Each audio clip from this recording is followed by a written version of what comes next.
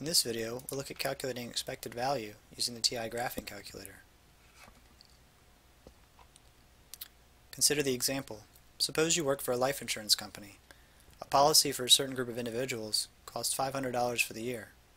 If the individual dies, then the policy pays the beneficiary $100,000. The probability that an individual in this group lives through the year is 0.99. First, we want to calculate a probability distribution table.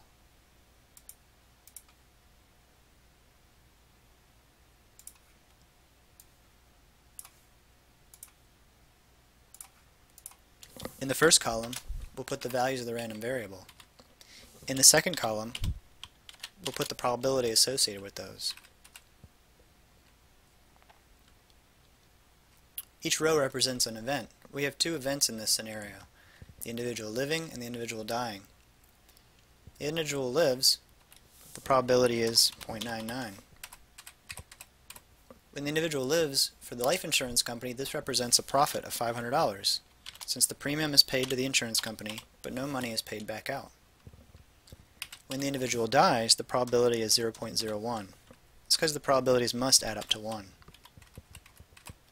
In this case, the life insurance company does still take in the $500, but must pay out $100,000 for a total loss of $99,500.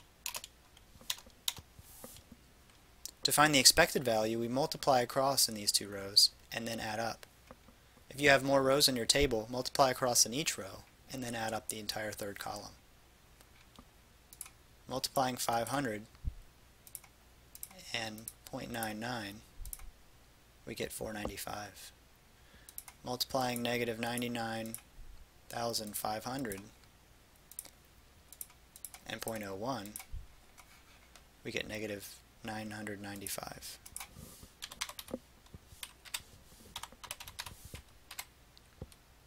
Adding those together, we get negative 500. This is the expected value.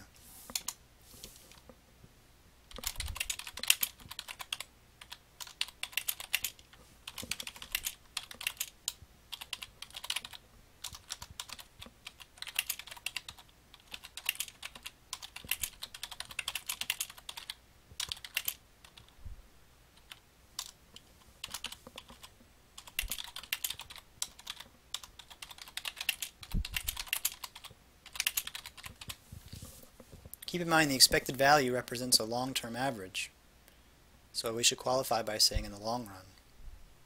It also represents a loss, since in this case it's negative. An appropriate interpretation statement would then be that when the premium is $500, the insurance company can expect to lose $500 per policy in the long run. Now the insurance company can adjust these values. The $500, for instance, charged for the policy can be increased could charge $1,000. This would result in $990 when we multiply across. The loss from the person dying is no longer 99,500 but now 99,000. And we see that we get negative 990.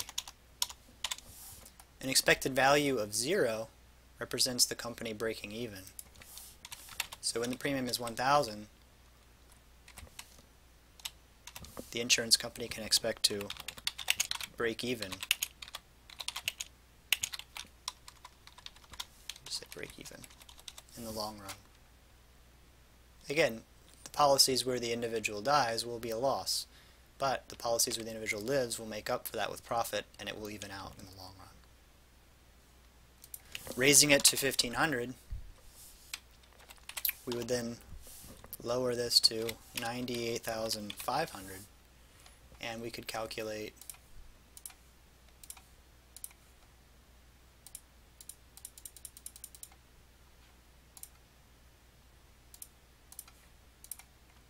the new expected value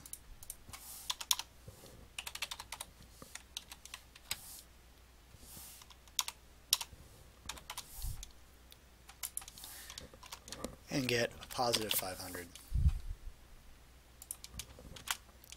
So when the premium is $1,500, the insurance company can expect to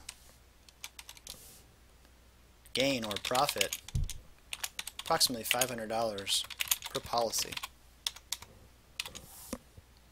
So you see how expected value is calculated and also how we can adjust the values of the random variable to set it to be what we want. Now there is a feature in the calculator to have this automatically done, but I thought it best to show the table method. Um, but if you like, you can hit stat and then enter on edit and put the numbers in the calculator as so. So 500, 0.99, 0.01, and then negative 99, 500. Then hit stat, calc, and one variable statistics and you want the list of numbers in L1 and the frequency list to be L2. You notice that that top number is the expected value. It's the negative 500 from the first time we ran it, since those are the numbers that were used. So this can be used to calculate the expected value as well.